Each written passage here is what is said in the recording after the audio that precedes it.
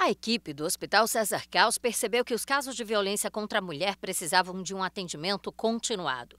Surgiu então a ideia de inaugurar um espaço diferente, reservado e acolhedor para as mulheres vítimas. A sala foi inaugurada nesta terça-feira.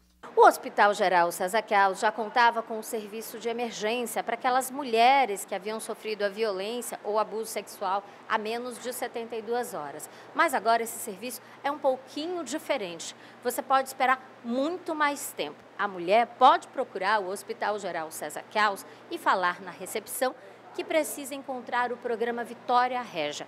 A partir daí, ela vai ser encaminhada para um espaço de total acolhimento completamente sigiloso.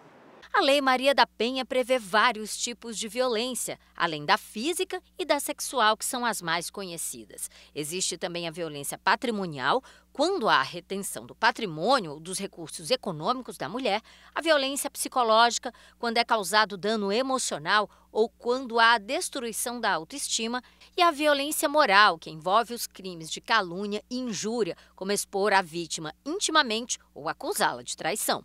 A assistente social explica que a mulher vítima precisa de um ambiente seguro para falar dos problemas que enfrenta, mesmo que não sejam imediatos.